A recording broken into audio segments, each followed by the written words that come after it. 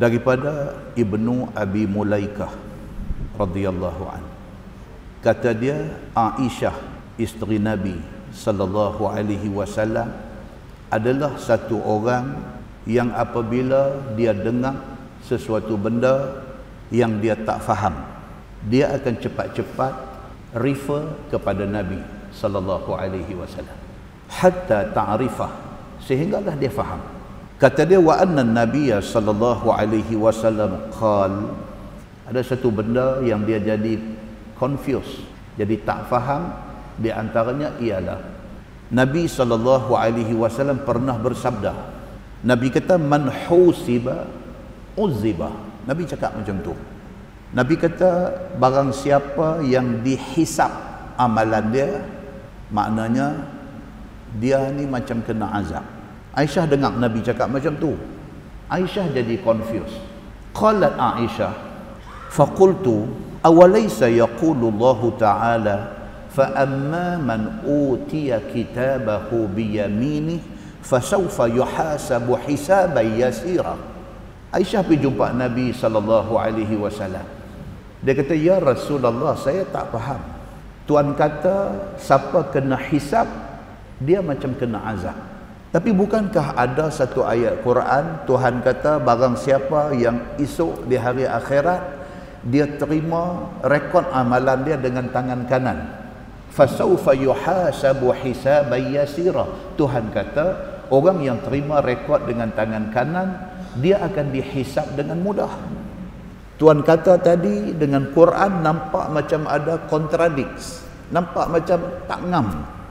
Tuan kata siapa kena hisap dia kena azab.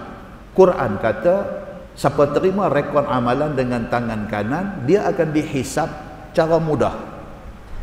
Macam mana tu? Qalat faqala nabi sallallahu alaihi wasallam. Aisyah kata nabi explain dekat dia. Nabi terang dekat dia. Nabi kata inna madzalikal arab nabi kata maksud ayat tadi ialah orang yang terima rekod amalan dengan tangan kanan setakat tu saja. Itu petanda baik bagi dia. Tapi rekod tu akan diteliti kemudiannya. Dia baru terima dengan tangan kanan. Itu satu petanda baik akan dapat dekat dia. Tapi belum selesai lagi. Sebab terima tangan kanan pun still nak kena tengok dulu. So dia kata ayat tu kata fa amma man utiya kitabahu biyaminih. Siapa terima dengan tangan kanan fasawfa yuhasabu hisaban yasira dia bakal dihisap cara mudah tapi bukan semua orang yang dihisap semua mudah ada orang dihisap tapi susah tapi orang yang terima dengan tangan kanan itu tanda akan mudah. Nabi kata. Nabi kata walakin manuqishal hisab. Tetapi barang siapa yang hisab dia itu dimunaqashah, dibincangkan secara detail, Nabi kata yahlik jahanam dia. Tekat tu. Itu hadis pertama riwayat Al-Bukhari. Di hadis kedua. Daripada Aisyah radhiyallahu anha Kata dia sami'tu Nabi sallallahu alaihi wasallam yaqul fi ba'di salati. Aisyah radhiyallahu anha dia kata dia ada dengar Nabi sallallahu alaihi wasallam habis semayang Nabi doa. Di antara doa yang Nabi duk baca lepas semayang ialah Nabi kata Allahumma hasibni hisaban yasira. Nabi doa. Nabi kata ya Allah ya Tuhanku hisaplah amalan aku dengan hisap yang mudah tuan-tuan Nabi minta supaya Allah hisap dia dengan hisap mudah kalau Nabi pun minta Allah hisap dia dengan hisap mudah kita siapa tuan-tuan Nabi lepas semayang antara doa Nabi Nabi kata apa Ya Allah ya Tuhanku hasibni hisaban yasira hisaplah kiralah amalan aku ni dengan cara mudah. Bila Nabi habis semayang? Falamman sarafa. Bila Nabi habis selesai semayang? Qultu Aisyah ni terus tanya. Aisyah kata ya Nabi Allah mal hisabul yasir? Aisyah terus tanya Nabi. Dia kata ya Rasulullah. Yang kata hisab yang mudah tu macam mana? Yang Nabi nak minta ya Allah mudahkanlah hisab aku hisab yang mudah tu macam mana? Qala Nabi sallallahu alaihi wasallam. Nabi kata an yanzura fi kitabih fayatajawaz anhu. Nabi kata hisab yang mudah itu ialah apabila satu orang terima rekod dia. Ni hak malaikat duk tulis ni. Illa ladaihi raqibun atid. Quran kata melainkan pada manusia ni ada raqib ada atid.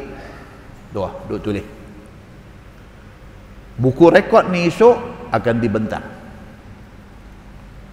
Nabi sallallahu alaihi wasallam kata hisab yang mudah apabila dibentangkan buku rekod itu dan dia ni dapat rezeki hisab dia mudah. Macam mana yang kata hisab mudah tu? Ayyanzura fi kitabih. Allah tengok buku rekod dia. Ayyanzura Allah melihat fi kitabih kepada buku rekod dia Allah tengok fayatajawaza anhu Tuhan bagi ampun pada dia. Yang ni mudah. Tuan-tuan terima rekod tangan kanan itu tanda kebaikan nak main kat kita. Belum Tuhan tengok lagi. Bila Tuhan tengok Tuhan ampunkan mana-mana silap yang ada dalam buku rekod tu. Kita mendapat hisab yang mudah. Innahu man nuqishal hisab. Yawma idzin ya Aisyah halak. Nabi kata pada hari itu siapa yang dapat buku rekod tiba-tiba buku rekod dia diperhalusi. Halak. Nabi kata jahanam dia. Dapat buku rekod kalau Tuhan tengok Tuhan kata okey Alhamdulillah. Dapat buku rekod tiba-tiba Tuhan kata halusi buku rekod dia. Halak. Nabi kata binasa dia. Bila diperhalusi jumpa macam-macam Allah subhanahu wa ta'ala Tuhan lebih mengetahui siapa yang akan diberi maaf dan siapa yang akan di perhalusi buku rekod dia. Allah subhanahu wa ta'ala a'lam. Allah lebih mengetahui kita tak tahu.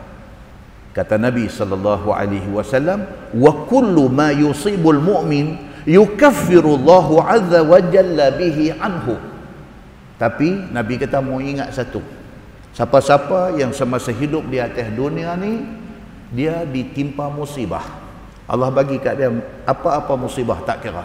Allah bagi dia sakit Allah bagi anak kurang sempurna dekat dia Allah bagi dekat dia macam-macam benda. Allah boleh bagi sebagai musibah yang menimpa dia.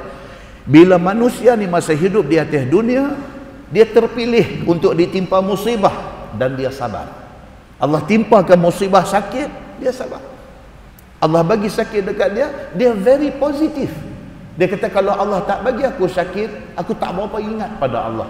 Tapi bila Allah bagi aku sakit, every single minute aku ingat Allah. Alhamdulillah sakitnya Allah bagi kat aku ni, Allah sayang aku.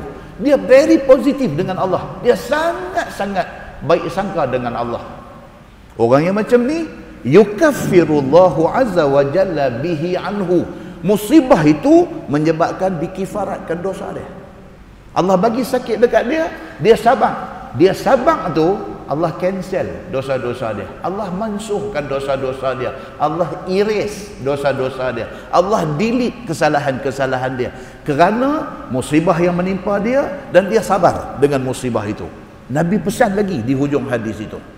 Dan Nabi kata apa? Hatta syaukah tasyukuh sehingga kan kalau satu orang terpijak duri syaukah ni duri?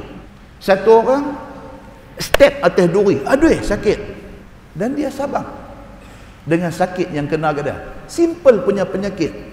Dia bukan kena sakit jantung dia bukan kena kanser dia bukan kena penyakit kronik tak. Just terpijak satu duri aja. Dia sabar. Dia tak ada maki-maki dia tak ada jadi orang lupa diri marah-marah dan sebagainya dia kena sikit.